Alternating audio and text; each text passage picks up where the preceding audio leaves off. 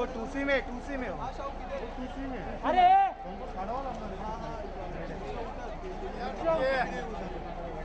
बैठ गया।